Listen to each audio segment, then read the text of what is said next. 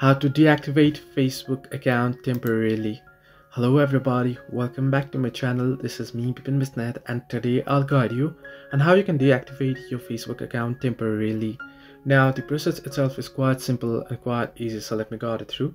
In order to deactivate your Facebook account, you can simply go ahead and open Facebook and then tap on the hamburger icon at the top right corner of your screen and you'll see the settings icon as well just below it tap on it once under settings and privacy, you should be able to see the option that says Meta Account Center option. You want to tap on it. Now, below account settings, you can see the second option that says personal details. You want to tap on it and then you want to tap on account ownership and control.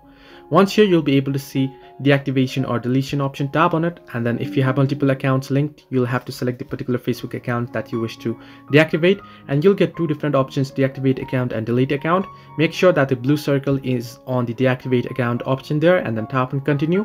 Enter in your password, verify your identity and you'll be able to deactivate. So this way you can deactivate your facebook account. Hope this helped you. Do like and subscribe and do not forget to leave a comment down below if you have any further issues